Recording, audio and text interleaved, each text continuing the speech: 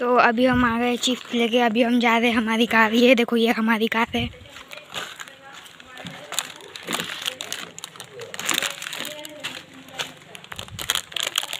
एक minute guys मैं door unlock कर लूँ।